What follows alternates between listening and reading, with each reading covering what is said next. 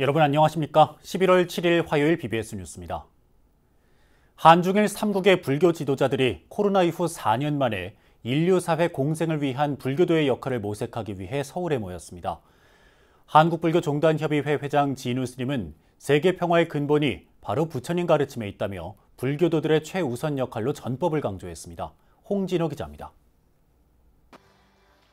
제23차 한중일 불교호 교류대회가 코로나 이후 4년 만에 서울에서 재개됐습니다.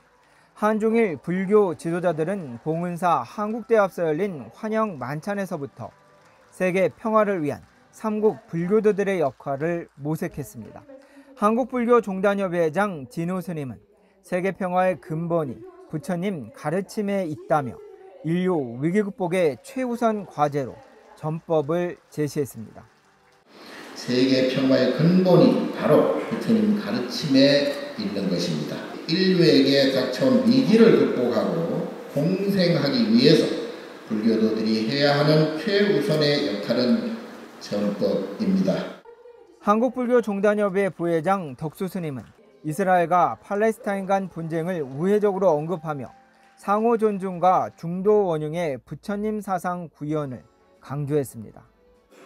상호 존중과 중도 원흉의 부처님 사상을 인류에게 절대적인 가르침이 될 것이며 따라서 우리 삼국 불교는 더욱 긴밀한 유대와 협력을 통해 미래를 준비해야 할 것입니다.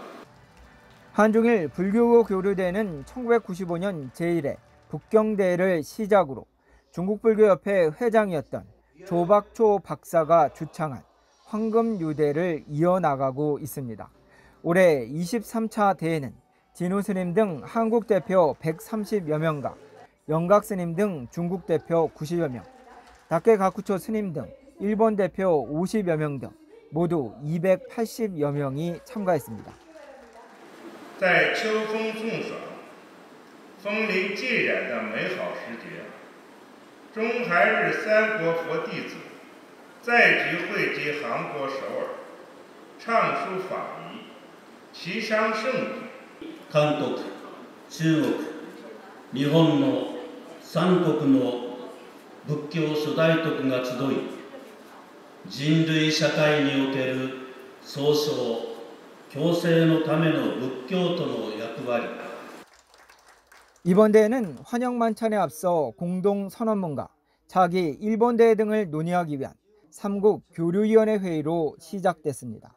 이어 조계종 진우 스님과 천태종 덕수 스님, 진각종 도진 정사 등 우리나라를 비롯해 중국과 일본에서 온 삼국 회장단 회동 등으로 삼국 불교 우호 교류를 다졌습니다. 삼국 불교계의 노력으로 서로를 이해하고 우호를 증진해 오며 대표적인 국제 불교 교류대회로 발전해 왔습니다. 만찬 이후에는 박범은 불교음악 원장 등의 지휘 아래 관현악 50인조와 합창단 200명의 축하 문화 공연이 펼쳐졌습니다. 조계종 어산어장 임목스님과 합창단이 함께한 우리말 칠정례를 시작으로 김성령, 이희와, 홍승희, 김덕수 등이 참불가와 사물놀이 등을 선보였습니다.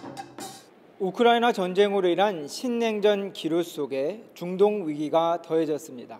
세계 평화를 기원하기 위해 삼국 불교 지도자들이 모은 두 손에 간절함이 묻어납니다.